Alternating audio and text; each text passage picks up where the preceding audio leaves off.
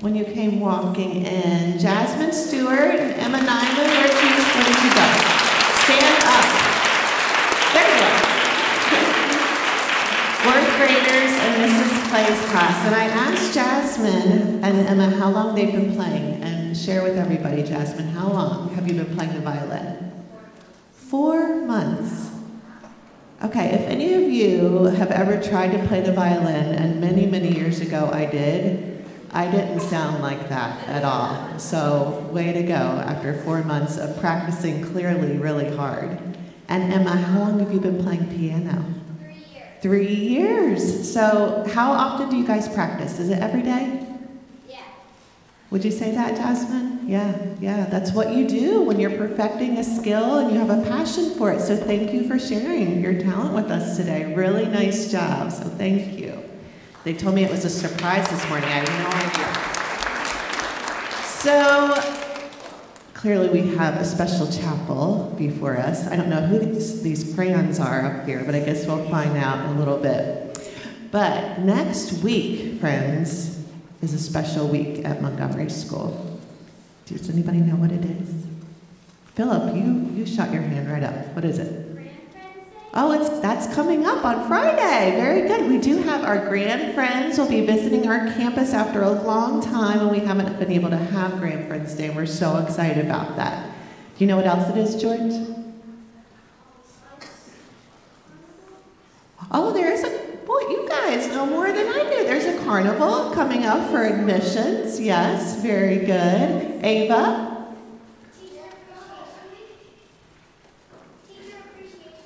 Say it with me, everybody. Teacher Appreciation Week. Do we love our teachers so much at Montgomery School? Yes. So, teachers, could you just cover your ears for one little second?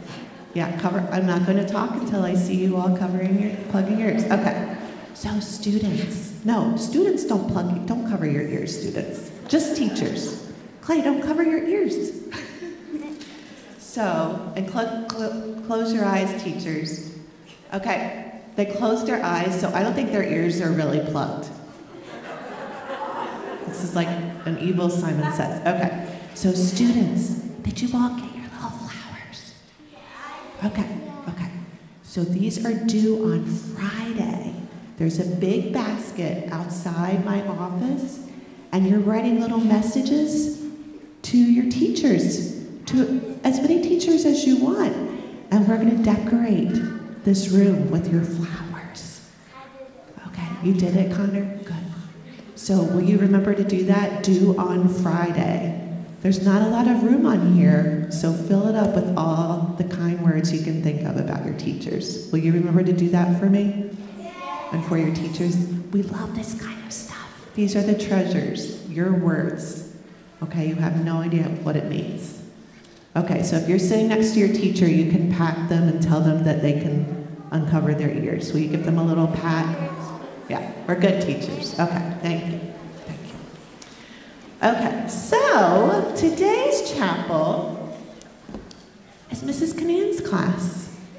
We love Mrs. Canan. Mrs. Canan has been at Montgomery School for nine, is that right, Mrs. Canan? Nine years? It's been a long time since I met Mrs. Canan for the first time. She loves her Monty family and the community here at Montgomery School. So I have to share something about Mrs. Canan with you all. When we all left for COVID years ago, distant memory now, right?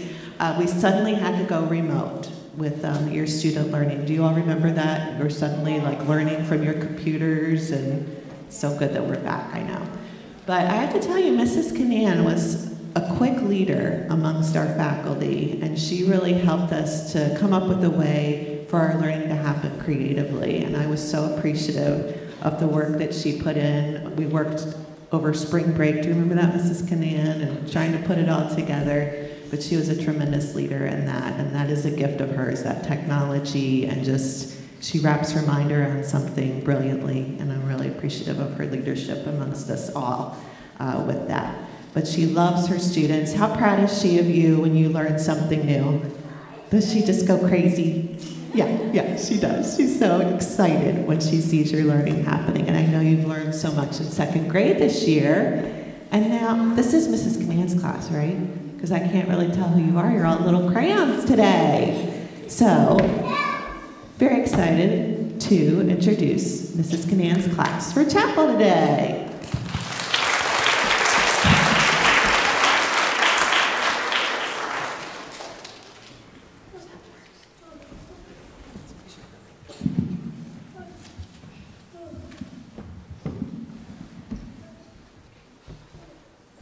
Welcome to Mrs. Canan's class chapel. First, we would like to thank Mr. Weinstein for his help with the slides, Mrs. Hoover for her help with the costumes, Mrs. O for her help with the music, and Coach Tools for starring in our play. Now sit back, relax, and enjoy the day the crayons came out.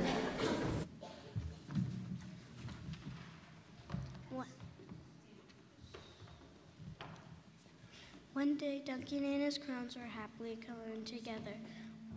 When a strange stack of postcards arrived for him in the mail,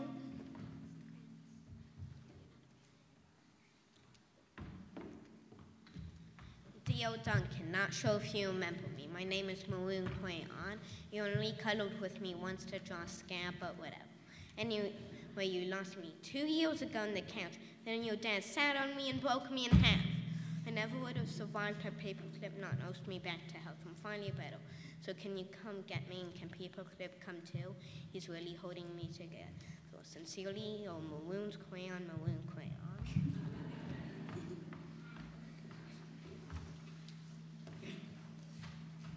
Duncan. No one likes pizza. Eh, no one even likes the color pea green. So I'm changing my name and running away to see the road that Sally has never, uh, uh, never saw.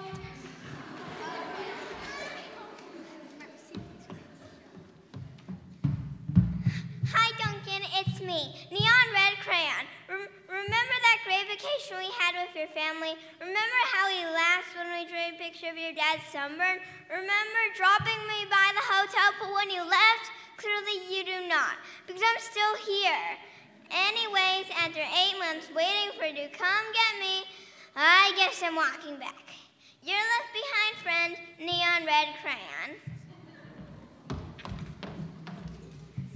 Duncan. It's us. Yellow and orange. We know. We used to argue over which of us was the color of the sun. But guess what? Neither of us wants to be the color of the sun anymore. Not since we were left outside and the sun melted us together. You know the real color of the sun. Hats. That's what. We're sorry for arguing. You can make green the sun for all we care. Just bring us home. You're not so sunny friends, yellow and orange. Hey Duncan, I'm sure you don't recognize me after the horrors I've been through. I think I was Tan Crayon or maybe Red Sienna. I don't know. I can't tell anymore. Have you ever been eaten by a dog and puked up on the living room rug? I have. I have, Duncan. I have been eaten by a dog and puked up on the living room rug. It is not pretty. Not pretty at all. I have more carpet fuzz than Crayon now. Could you please bring your, uh, yeah, your undigestible friend, Tan or possibly Burnt Sienna? Here's Duncan. Um, could you please open the front door for me? I still need to see the world I I never. Hey Duncan, remember last Halloween when we told your little brother there was a ghost under the basement stairs? Then we drew that scary stuff on the wall. Sure was funny when he ran screaming, right? But it wasn't so funny when you forgot to take me out of the basement. Please come get me. I'm kind of terribly horrified. Your scared friend, glow in the dark crayon.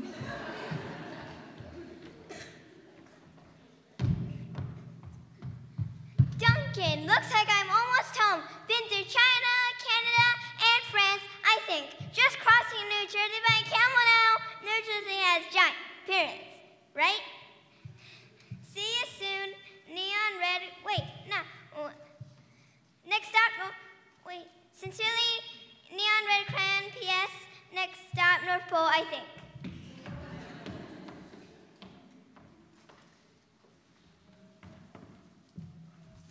Dear Dun Duncan, does Page at a Pirate Island ring a bell? Kind of big payday for Captain Greenbeard. There. Also no silver or bronze pile, huh? I told you to call them. I.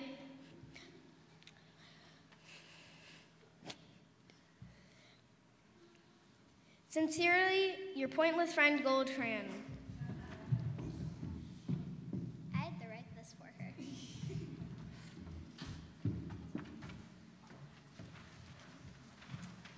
Dearest Duncan, I've seen the one now. It's rainy. I'm coming back now. Sincerely, uh, uh, uh, uh, never saw.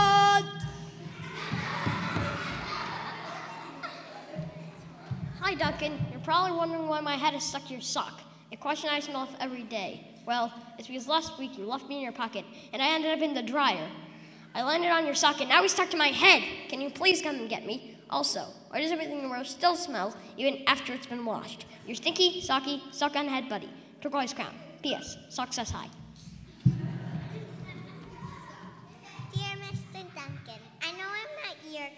I know I belong to your baby brother, but I can't take him anymore. In the last week alone, he's bitten the top of my head off, put me in the cat's nose, drawn on the wall with me, and tried to color garbage with me. Worst of all, he's a terrible artist. I can't tell what he's drawn. Donkeys, monkeys, donkey monkeys. Picasso said every child is an artist, but I don't know. I don't think he met your baby brother. Please rescue me. Your desperate crying, big chunky, big chunky toddler crying.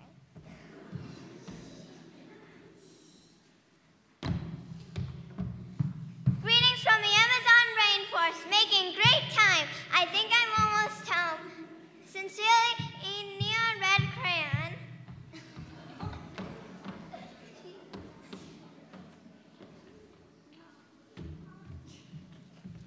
Hello, Duncan. It's me, Brown Crayon. You know exactly what I want to write, buddy. Everyone thinks get all the great coloring jobs candy bars, puppies, ponies. Lucky me, right? But they don't know what you use me to color, do they? I didn't think so. The rest of that coloring was great, but it really need a final brown scribble? I'll come back, but please, let's stick to candy bars, okay? Your very embarrassed friend, Brown Crayon. Duncan was sad to learn all the crayons he lost, forgotten, broken, and neglected over the years, so he ran around gathering them up. But Duncan's crayons were also damaged and differently shaped than they used to be that they no longer fit in the crayon box, so he had an idea. He cut, he taped, he built a place where each crayon would always feel at home.